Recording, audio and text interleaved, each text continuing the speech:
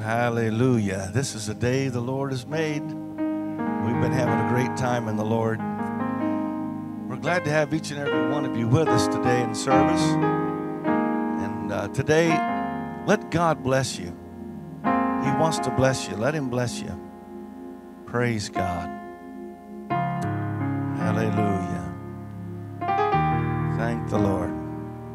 We're very happy to have uh, Brother Morrell Cornwell with us. Uh, we just love Brother Cornwell. He's a great man. And we're glad to have him as a friend. And uh, he's been doing a lot of preaching around as usual and came, I think, just now from Illinois, preached a conference out there. And uh, so he's going to be with us this morning and the Lord willing tonight. So we're going to have a great time with the Lord. I want you to let God have his way in your lives. Listen with your hearts.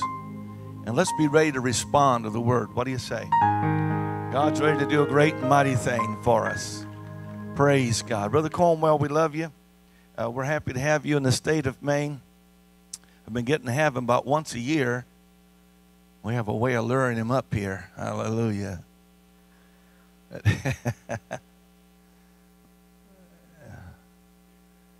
but we're happy that we get to have him, and uh, he's one of my one of my good friends in the gospel. I, I, you know, I have a lot of friends, a lot of friends in the gospel, but this is one of my good friends in the gospel. Brother Cornwell, come take your liberty in the Lord. Thank you, Brother Stoops. Everybody say, Praise the Lord. Why don't we stand together for just a moment? Now, I, I heard what you said a while ago when you said turn around and bless somebody's finance. But uh, I, am not, I'm not correcting you, Elder, but I, I, that was a little bit generic. I want you to turn to five people and look them square in the eye and say, You are going to get a raise on your job.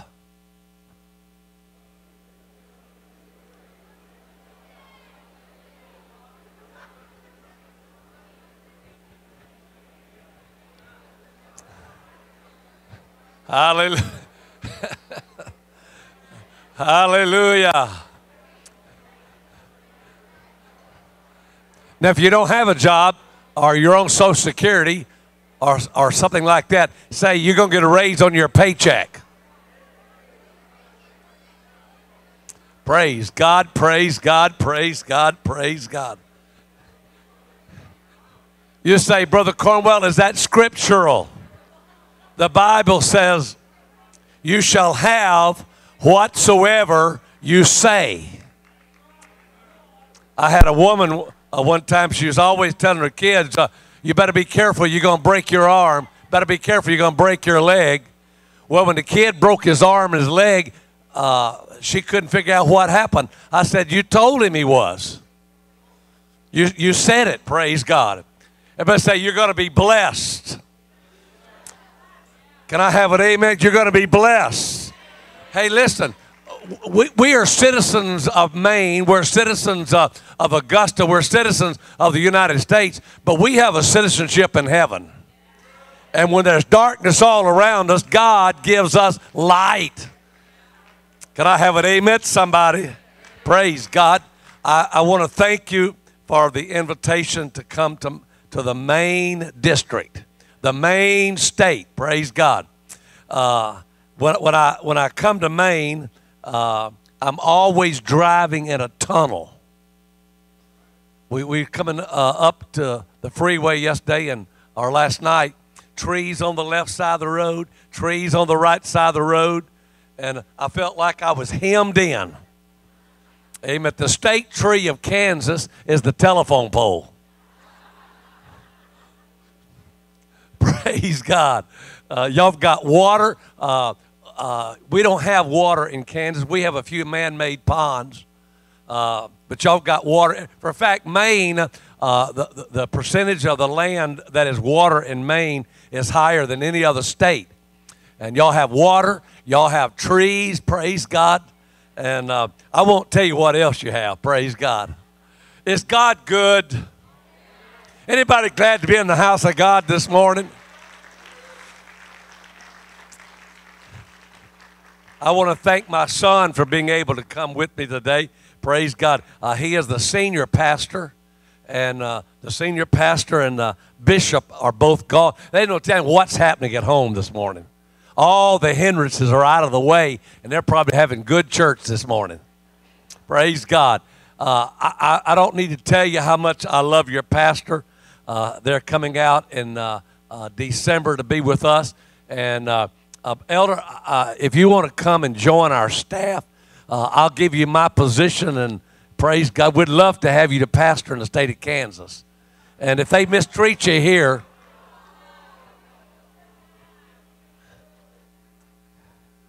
if they mistreat you in Maine, we'll take you in Kansas. Amen. For a fact, we'll let you be superintendent. Brother Khan uh, fell off the roof and nearly broke his head, and uh, we'll put him aside and we'll make you the superintendent. Praise God. Amen.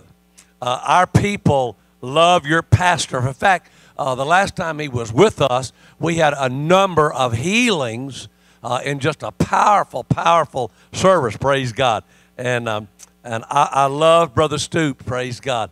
And Sister Stoops, I want you to know I haven't opened that Budweiser. I will never live down that sermon. Praise God. Open your Bible with me this morning.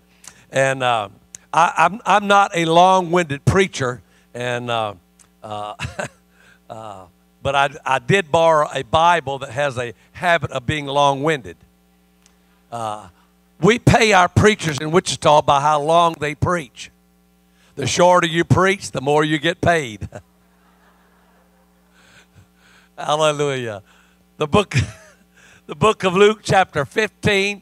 And uh, I am not going to preach long, but I want to preach for just a few minutes this morning. Thank you, Brother Stoops, uh, for the kindness of your family and the church and uh, your men. I just, uh, I'm overwhelmed by your kindness. Praise God. Uh, I was out here year before last, and uh, we was in up in Fort Kent, and I had a heart attack, and it was just a bad scene. And uh, your pastor stayed with me. I thank him for that, and I am perfectly all right. For a fact, I just came from the cardiologist. He gave me a clean bill of health. I have no heart damage, and uh, for a fact, the doctor said I'm not even a heart patient anymore. Praise God.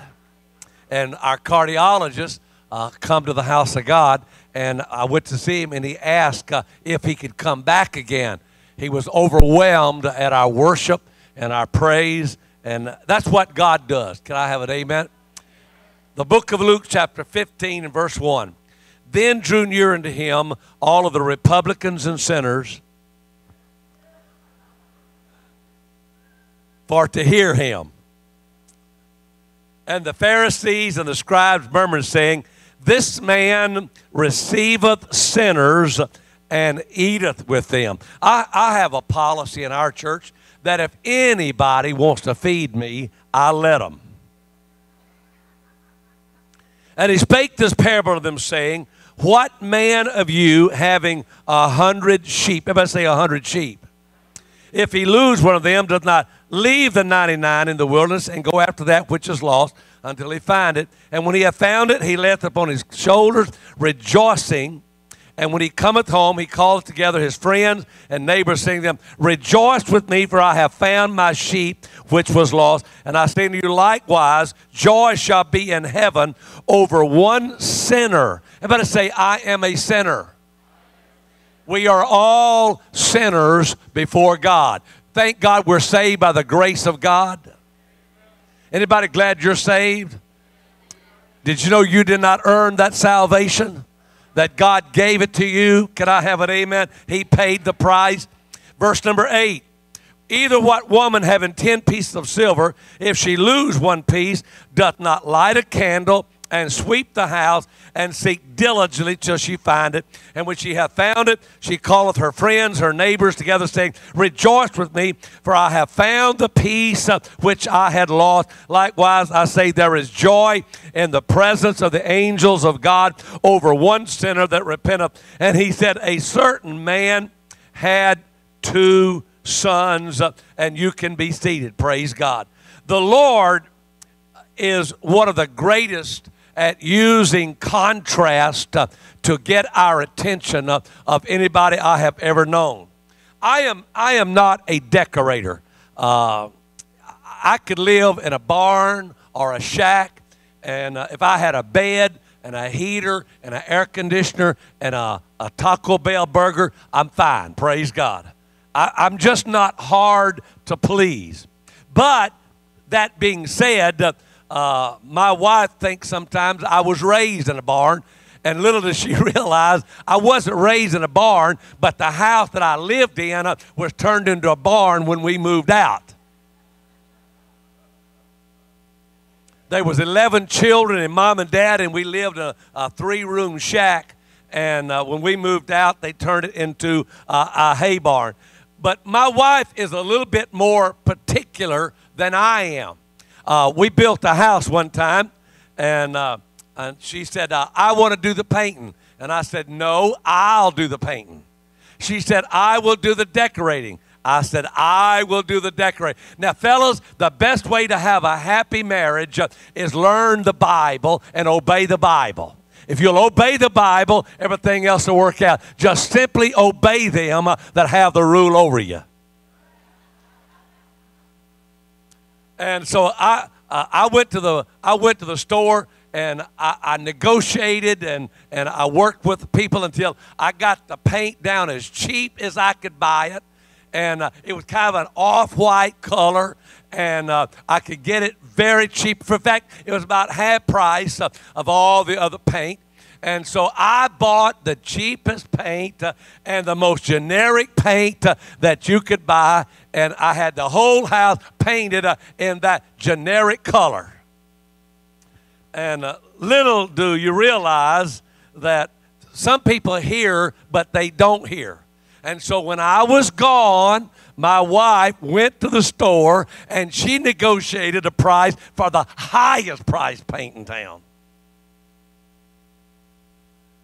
And uh, when I came in, uh, the house was repainted. And uh, she said, You only put on primer. And consequently, uh, she repainted the house.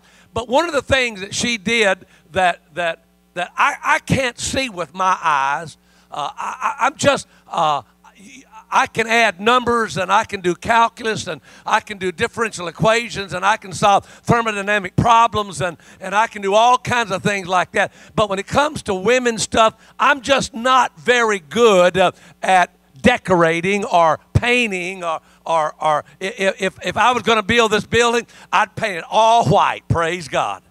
But you know, that's not very palatable to a lot of people. And uh, she did something that I'd never seen before. She put one wall a completely different color and it contrasted uh, with the rest of the colors of the house.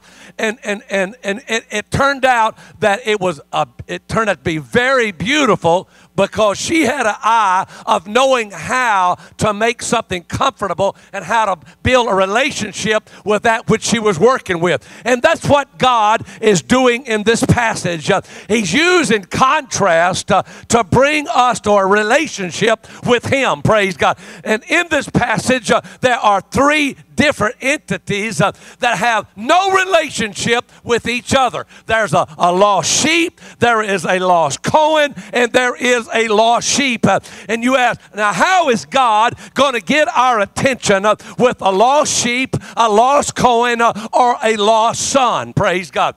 And I want to go through each one of these uh, just briefly uh, to help you understand uh, that a man had a hundred sheep and uh, one of them uh, was lost uh, when they passed under the rod, and he counted them uh, as they went into the corral for the night. Uh, there was only 99, uh, and he realized that there was a sheep that was not in the fold. Praise God.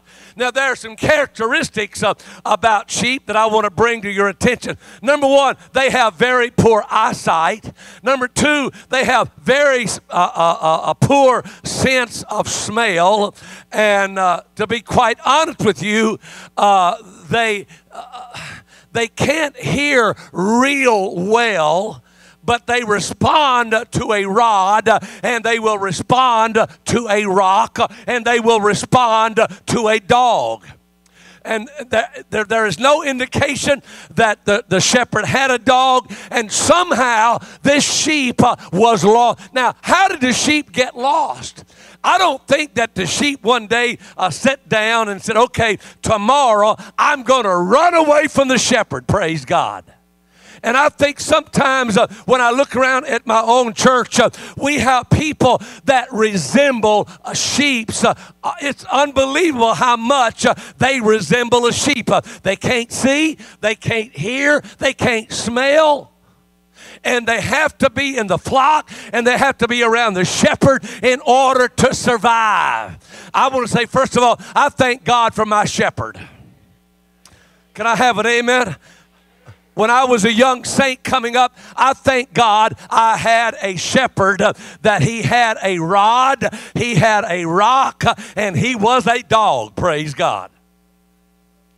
I remember getting the Holy Ghost uh, as a sophomore in college, uh, and I sat on the front row. And uh, I, I, I, went to college uh, not necessarily to get an education, but it was right in the heart of the Vietnam War.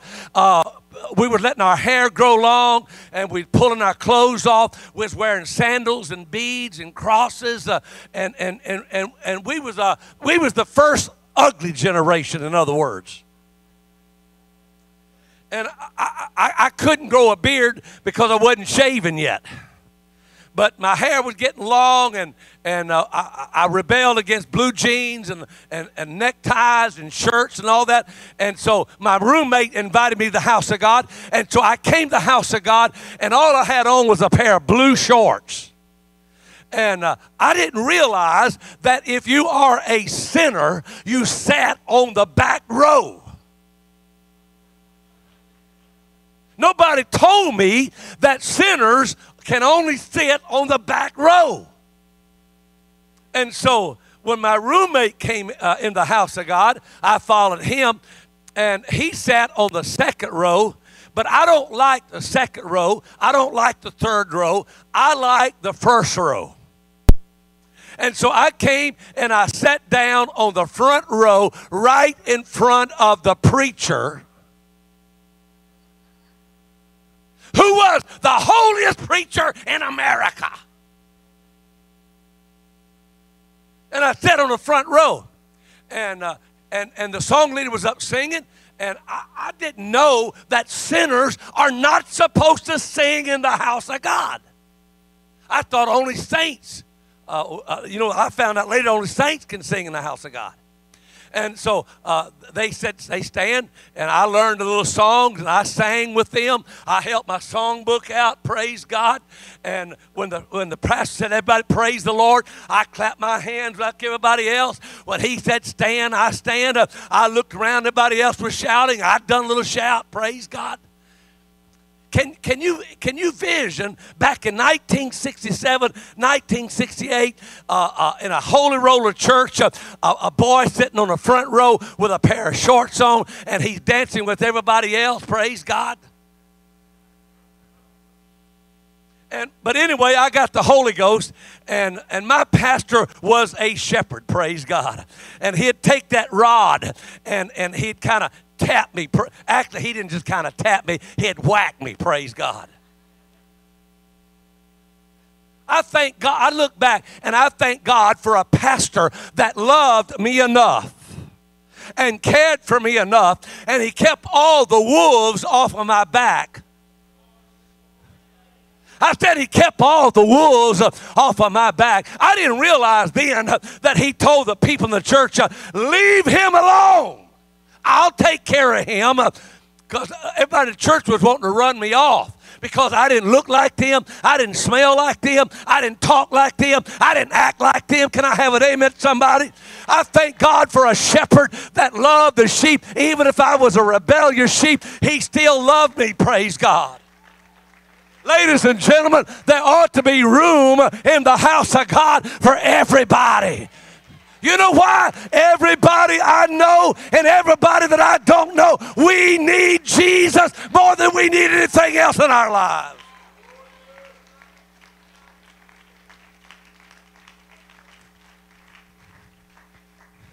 Can I have an amen?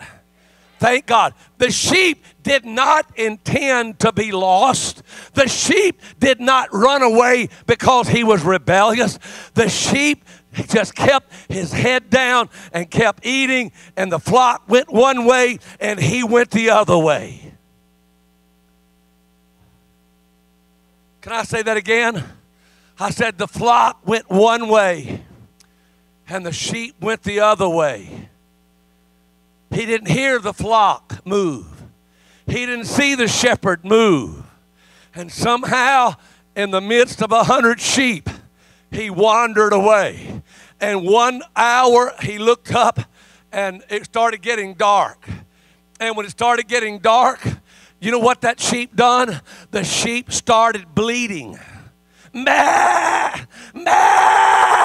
Because he was lost. He was not lost because he wanted to be lost. He was not lost because he was rebellious. He was not lost because he went out and took drugs. He was not lost because he went out to drink. He was not lost because he went out to honky tonk. He was lost just in the course of living his life. And when the shepherd found out that the sheep was gone, the shepherd was as frantic as the sheep was. And he left the 99 in the wilderness and he went after that one lost sheep. I believe that the shepherd knew the name of the sheep. Can I have an amen, somebody? My sheep hear my voice, and another they will not follow. And he got to calling for the sheep, uh, and the sheep got to bleating for the shepherd. And there came a moment when the shepherd heard the bleating of the sheep, uh, and the, and the sheep heard uh, the sound of the shepherd. Praise God. And when they got together, that was rejoicing. Can I have an amen? Now, let me just see if I can put this in our own language. We live in a busy world. We live in a world of chaos. Maybe, maybe, maybe Kansas is different from Maine. But I'm going to tell you, we live in a world of chaos. A lot is being said right now about what's going on uh, in St. Louis, and it's bad. And I, I, have no comments about that. I don't know what happened, but I know that there's a lot of trouble uh, in St. Louis. But what we don't realize that that scene uh, is being played out all across America. We have a, a, a deacon, if I can call him a deacon. Uh, he's on our board of elders, our board of trustees. He is the most gentle man that you have ever met. There's not anything that he would not do for you. He is just a beautiful person. He has a, a beautiful wife, beautiful children and grandchildren. He is a lieutenant uh, in the police department. And he got a call. And, and in the call of a domestic violence situation, him and two other officers went to the, the, the domestic violence situation. And when he walked in, there was a man that had beat up his wife, had taken a knife and had already uh, cut her, and she was bleeding and bloody and bruised. And when the police showed up, she was screaming for help and, and, and begging him not to kill her and, and he had her around the neck and the police tried to talk him out of his weapon. Please put your weapon down. Please put your weapon down. Please put your weapon down. And and and he said, and they said, let her go. Put your weapon down. Drop the weapon, please and and the man didn't and he reached up to cut his wife's throat and to kill her and this this wonderful wonderful man in my church i mean i cannot tell you how wonderful a man he is and he's been on my board of trustees uh, for the last 20 years. Uh, he is a gentle person, uh, but he had to take his service a pistol and had to shoot the man in the head and killed him and saved that woman's life. and now this police officer, he simply laid his weapon down, took his gun belt off and laid it down and, and, and fell on his knees and began to weep. In the last couple of weeks, he has been a frantic case and it's like the sheep without a shepherd. Uh, but I thank God uh, that the shepherds uh, of our church uh, have come to his rescue and said, Listen, uh, you saved a woman's life. You are a hero. But yet he is a sheep uh, and he's screaming and yelling and bawling and squalling. Why? Because he wants to get back in the flock. He wants God to help him. Let me tell you something. You're not always lost because you're a bad sinner. You're not always lost because you are a drug addict. You're not always lost because you're an alcoholic. Sometimes you just get separated from the flock and you need the flock, and the flock is looking for you.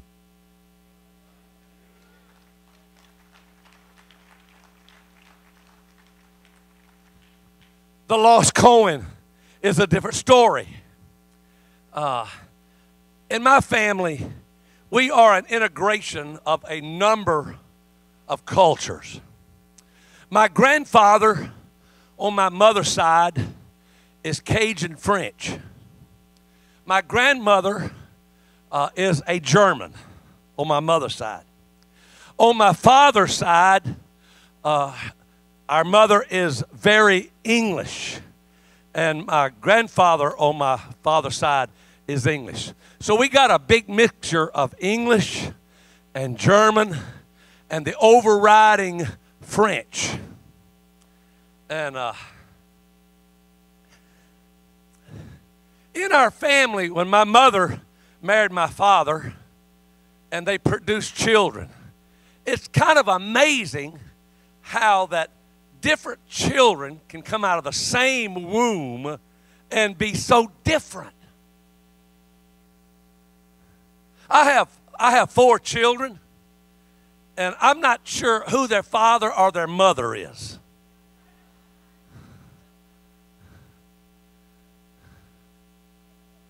I, I, I, can look at one of them and say, he is like this grandfather. And I look at another one and he's like the other grandfather. And I look at another one and he's like uh, his grandmother. And it's amazing how two kids can come out of the same womb and yet they can be as different as daylight and dark. In our family, there were 11 children. And on my father's side, as far back as you can go, they are heathens.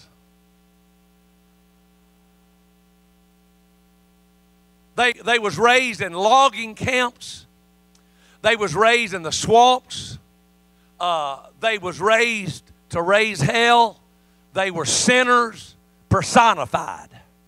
On my mother's side, all of her family are apostolic preachers. And they say opposites attract. My mother and dad really must have attracted each other because they are very different. My mother is a very tender woman, and, and, and I remember preaching one sermon, and she came immediately down the aisle and I laid hands on my mother, and my mother received the baptism of the Holy Ghost. And my father was a different story altogether. He doesn't comprehend Jesus, he doesn't have any comprehension of the Bible.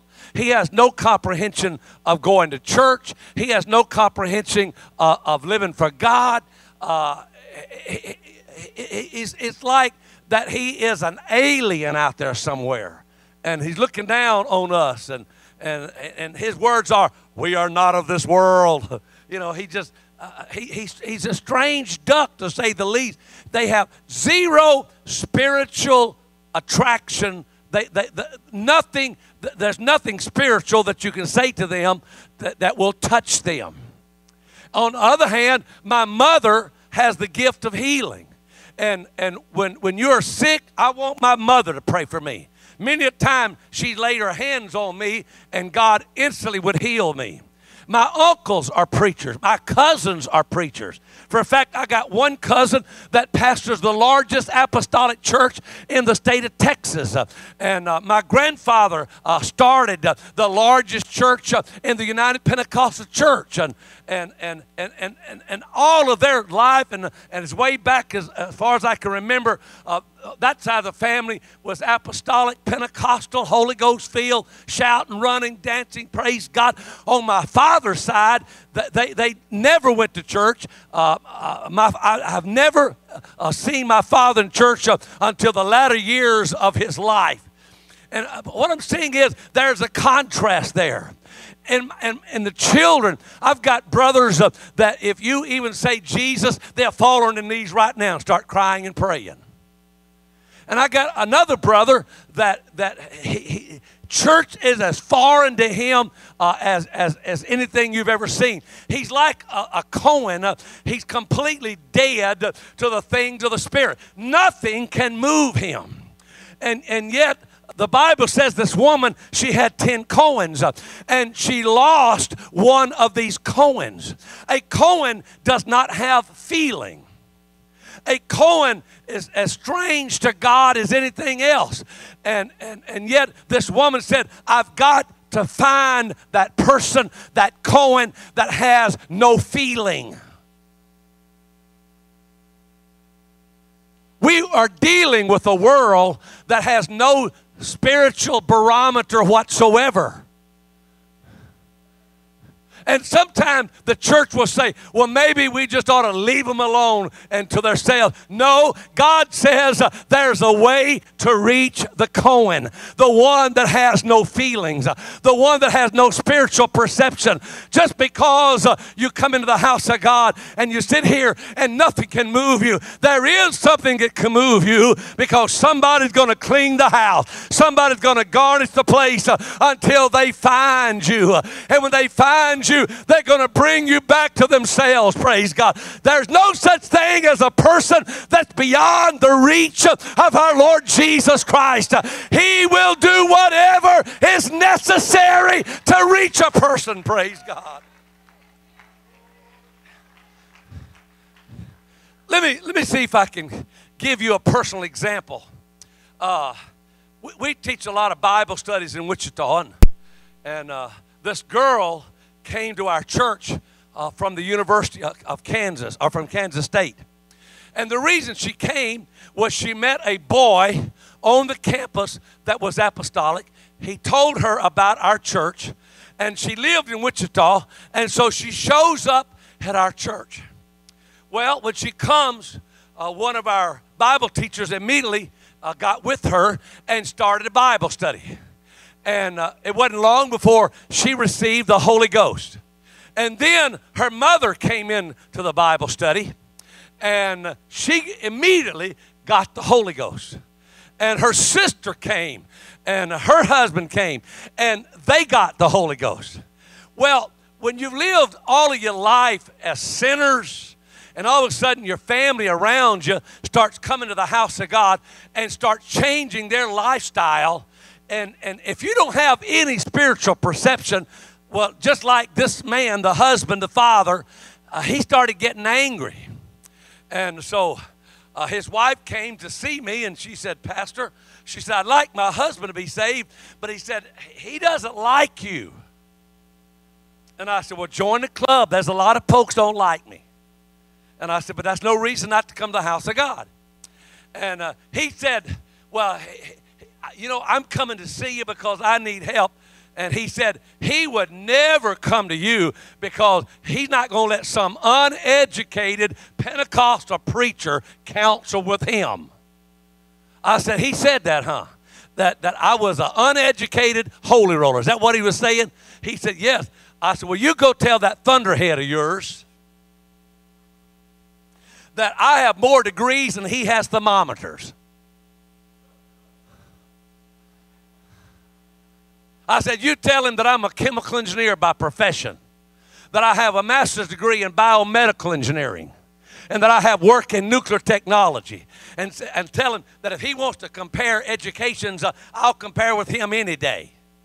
Well, she went back. I had no idea that she'd tell him that. And he could not believe that somebody educated uh, could stand in a pulpit and yell at people.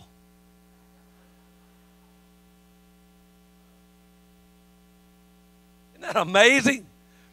everybody thinks preachers are dumb. And I might add, the dumber you are, the better the preacher you are. I mean, it doesn't take a rocket scientist to, to teach the Word of God. It takes the anointing of God. It takes the Holy Ghost. Can I have it? Amen. God takes zeros uh, and makes hundreds out of them. Praise God. But let me tell you something. If you come to God and you think you're something, you're going to end up as a zero before you find God. And then God will remake you. Praise God. Somebody said amen. And so uh, he finally, he broke down and he came to see me. And he let me know, I don't like you. I don't like this church. I'm going to work to get my family out of this church. I'm going to work to get my children out of this church. I don't like Pentecostals. I don't like this church. And I said, Why do you not like the church? He said, I don't know why I don't like it. I just don't like any church. I said, Now we're getting somewhere. It was the fact that he had never felt God's presence before. Can I have it? Amen. I said he had never felt the presence of God. But let me tell you something. Ladies and gentlemen, when that lost coin, that person that doesn't have any feelings, when God touches you, I'm going to tell you, He can bring that coin to life and cause rejoicing in heaven. Can I have it? Amen, somebody? And so his wife, his daughter, his son in law, we all got to praying for him and we prayed and we prayed. We had days of fasting for him.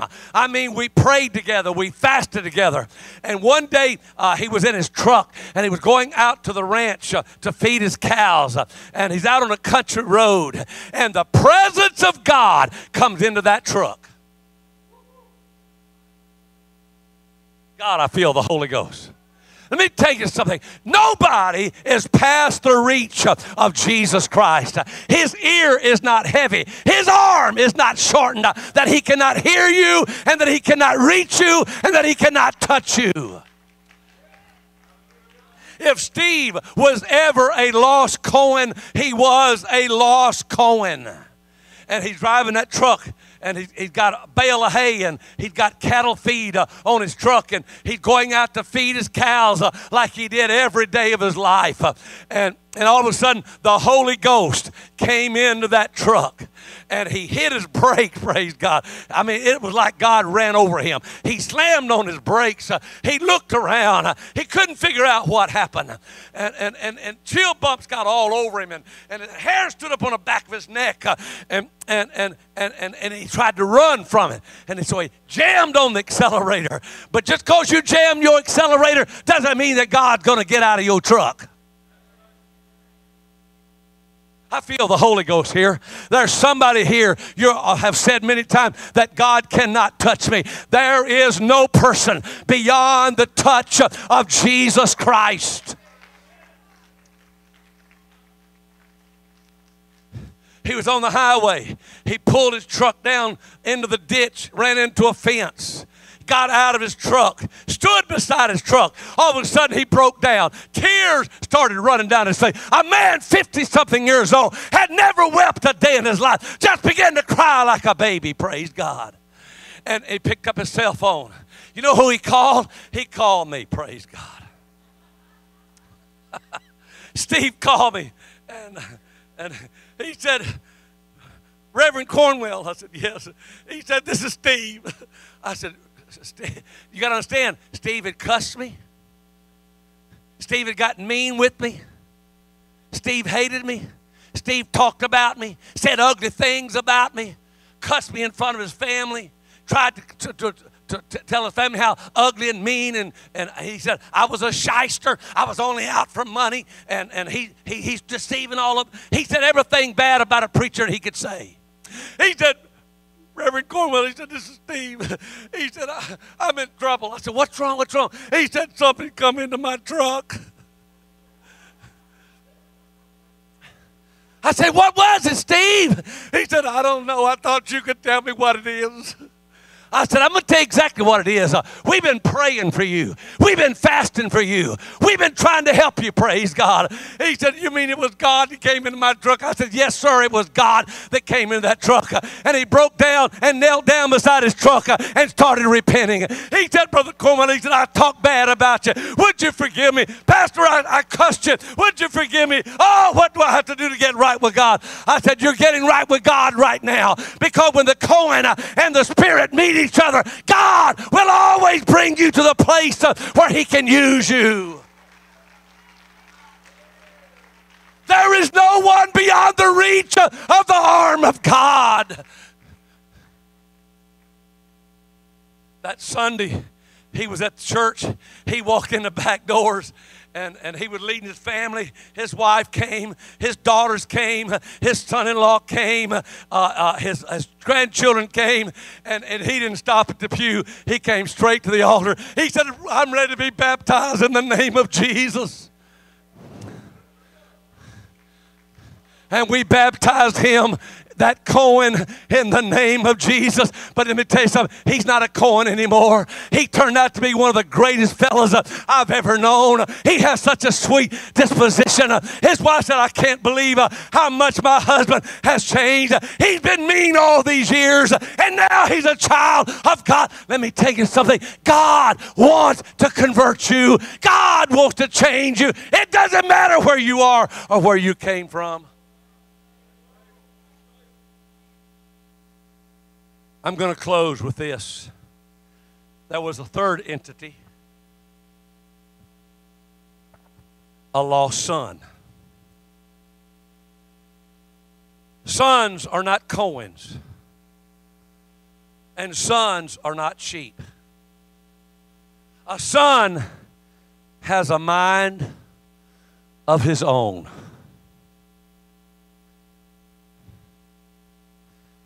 Do you know whether we like to believe this or not, our children have a choice that they have to make. Daddy, you cannot make the decision for your son. Mother, you cannot make a decision for your children. We raise our children at a very young age, we try to put a conscience within them. We do everything right. Well, not everything, but most of things. We give our children the best opportunity that we know how to help them make right decisions. I cannot overemphasize the fact that as a parent, you are to parent your kids not necessarily to be friends with your kids. Because there's a time when you have to say no, there's a time when you have to say yes. Can I have an amen? And it would be nice if we was the only ones that had influence in your son's life. But this particular son did not just appear in chapter 15. He actually appeared in chapter 12 when somehow the Son got among the Pharisees and scribes. And he started listening to the wrong voices. I don't understand how a godly father, one that raises the children, and yet they children sometimes can, can so easily be persuaded by people that they don't know, that people that don't have the same values as their parents do. But that's the reality that we live in. And uh, this son in chapter 12, the Lord looked over at this son and said, Beware of the leaven of the Pharisees and the scribes, uh, for they are hypocrites. And even the Lord tried to warn the son that he was listening to the wrong voices. But somehow the son was persuaded by the wrong voices. Our kids, when they grow up, go to college. I don't know what University of Maine is like or the, the colleges in Maine, but at the University of Kansas and Kansas State and Emporia State and Wichita State and Fort Hays State and Pittsburgh State, I can tell you that the professors don't care about what mom and dad believes. Can I tell you that the people that, that, that sit on bar stools when your son walks in, they're not going to say to them, You ought not to be here because mom and dad doesn't want you to be here. No, they're going to invite your kids. They're going to they're going to get your kids to drink. And, and, and it amazes me. Uh, we, we, we have a lot of children in our church. Uh, last Sunday morning, we had 460 children between the ages of 5 and 11 in the house of God. And we had 23 of them get the Holy Ghost. And, uh, and, and, and you know what? the world doesn't care the values you teach your children. There are all kinds of voices out there in the world that's reaching for you, but more than that, they are reaching for your children. How many times uh, have I preached against alcohol in my pulpit? And I am a teetotaler. I am against alcohol in every shape, form, or fashion. And, uh, and yet, uh, we had kids grew up in our church one of the kids uh, decided he was going to drink and he bought alcohol for the rest of our kids. And I had to deal with it one day. And, and uh, I, I, said, if you buy alcohol again for these kids, uh, I will personally see to it that you go to jail and they throw away the key. And I said, for fact, you are no longer a member of this youth group. And I had to separate this young man from the youth group because he was polluting every kid in our church. And, and, and believe it or not, uh, he laughed at me and, said, You're not going to keep me from drinking. I said, I can't stop you from drinking, but I can separate you from those uh, that, that we want to save. And, and a few years ago, just about four years ago, I buried him uh, from an alcohol overdose. He did what he wanted to do and yet, but I saved uh, the kids uh, that I separated from him. Your kids uh, are, are, are, not just going to come under your influence, uh, but they're going to come under the influence uh, of, everybody they meet. Uh, the college professors are going to have influence over them. I want you to know that the bar rooms are going to have influence over. It's amazing how a kids have tried drugs knowing that there's certain drugs that will kill you. And why a kid will take crystal meth is beyond me. I have buried 15 teenagers teenagers uh, in the last 37 years uh, that's been shot down on the streets of, of Wichita because they listened to the wrong voices. Uh, if they would listen to one voice, we have one rule in our church. Our kids have to be off the street at 11 o'clock in order to be a part of our youth group. And all 15 of those kids were killed after 11 o'clock at night.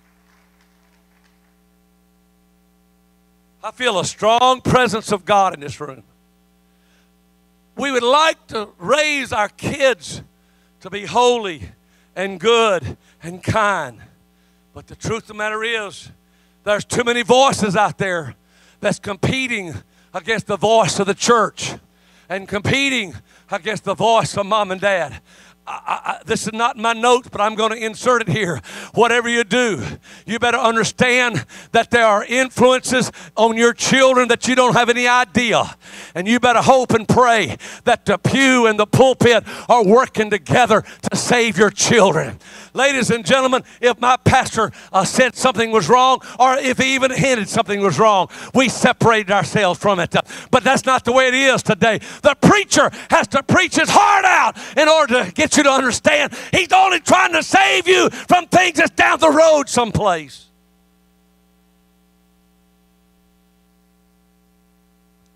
And this son came under the influence of the wrong crowd. And he came to his father and said, Dad, give me the portion of goods that belongeth to me. He wasn't a dumb coin. He wasn't a dumb sheep. He was a son. He chose of his own will to rebel against the teachings of the Father. And he said, I want the goods that's going to fall to me after you die, but I want it now. And in the wisdom of the Father, he divided his living and gave the Son his inheritance. And the Bible said, not many days after, he left home and spent his fortune on riotous living. There's one thing I got to say about that. Thank God that the father stayed at home and kept the lights burning and kept the praise going and kept the church intact. Can I have an amen? I thank God when you can't do anything else, you just stand and withstand everything that comes against you because the church of the living God is the only thing that's going to survive in this end time. Praise God. Thank God for the church. I said, thank God for the church. I said, thank God for preachers. Thank God for pastors that are still holding out the light. He spent all, wasted his substance with righteous living and ended up in the pig pen. He was rebellious. He was aggravating. He was mean. He didn't think. Everything bad that you can say about the son, he did. But there's something else. I want to tell you something. The father was still praying for him. And all of a sudden, the Bible says the Son came to himself. And in the pig pen, he lifted up his eyes and said, My Father's house has servants that hath more than me. I will arise and I will go back to my Father's house. And I will say, Father, I have sinned against thee and I have sinned against heaven. Make me as one of thy hired servant. I'm not worthy to be your son. But let me tell you something. We got a God that's bigger than that. He doesn't want to make you a servant, He wants to make you a child. He wants to make you a son of God. Can I have it? Amen. We had a young man, I'm closing. We had a young man that met our district board for license just the last time we met. He's a tall young man, beautiful family. He married a girl in our church. They got a, a baby, and he met the district board for license. He was raised in an apostolic home. He was raised in a Christian home. His, his mother and father are involved in the ministry. His grandfather was Brother Timothy Creel that pastored Westlake, Louisiana. And, and his great grandfather, he has five generations back in the Pentecostal movement. But when he got in high school, uh, he started running with the wrong crowd, got involved in drugs, went to jail, went to prison, and spent time in prison, spent time in jail, uh, was on probation, was on parole.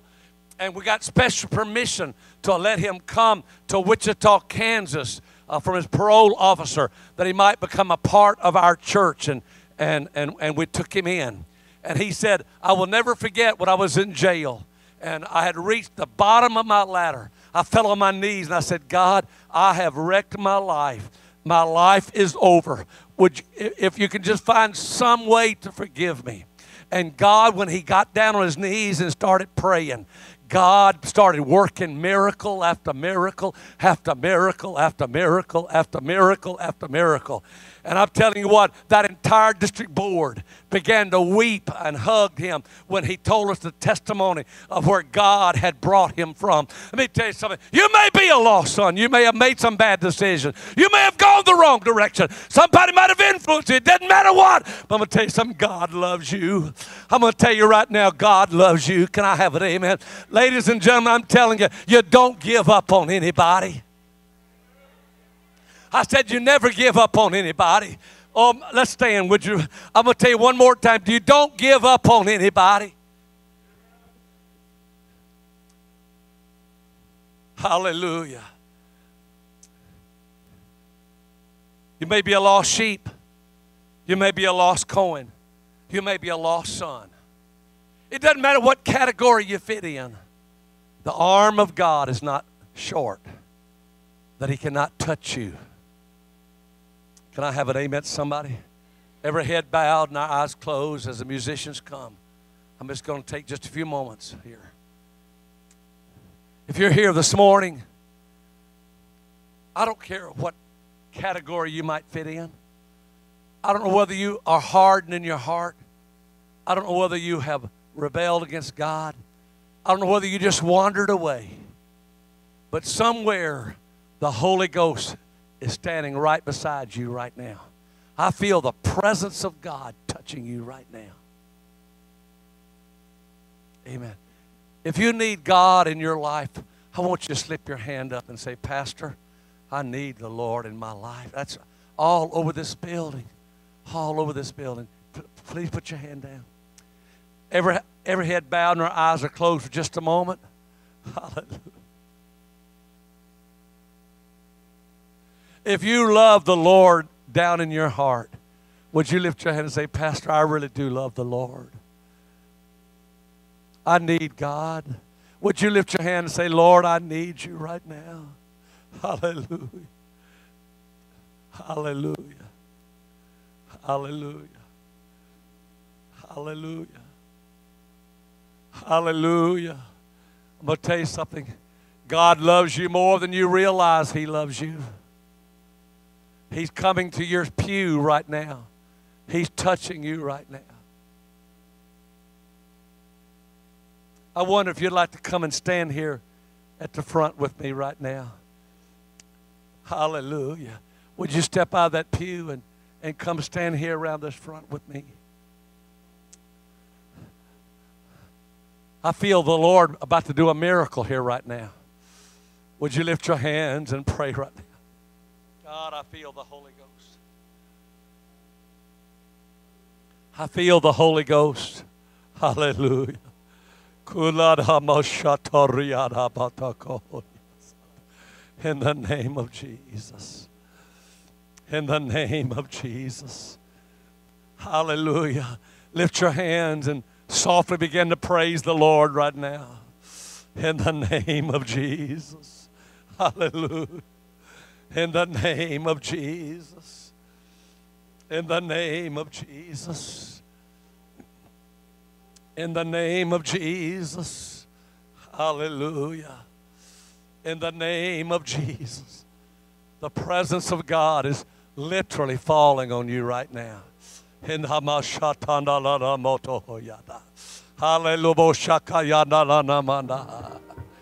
name of Jesus. In the name of Jesus. Hallelujah. My goodness. The Holy Ghost is falling on you right now. The Holy Ghost is falling on you.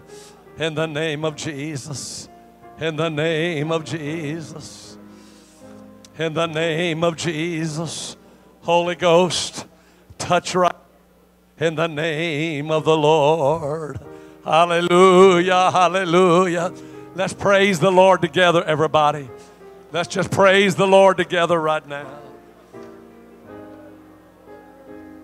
Hallelujah. In the name of Jesus. In the name of Jesus. In the name of Jesus. Hallelujah. Hallelujah. In the name of Jesus. In the name of Jesus.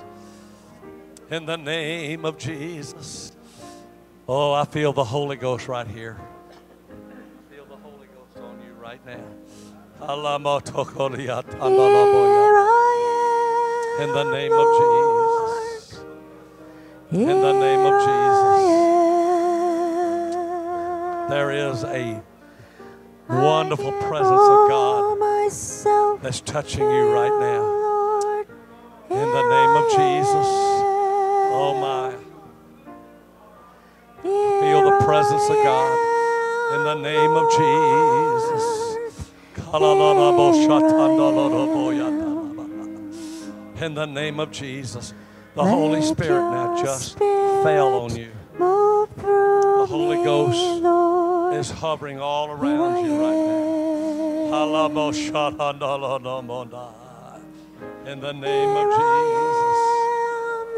In the name of Jesus. in the name of Jesus. My goodness. I give all myself. The presence of God you, Lord, just touched you. The Lord would speak to you and say, Draw close to Him. Draw close to Him right now. Draw close to the Lord right now. My goodness. My goodness. My goodness, the Holy Ghost is on you guys. In the name of Jesus.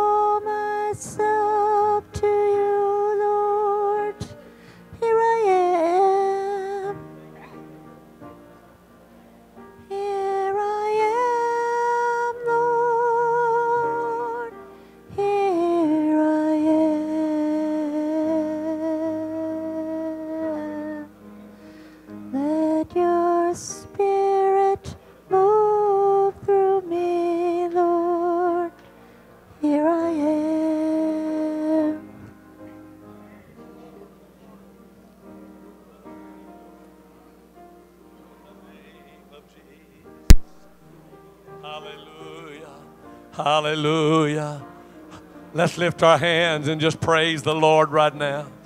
Let's just praise the Lord right now.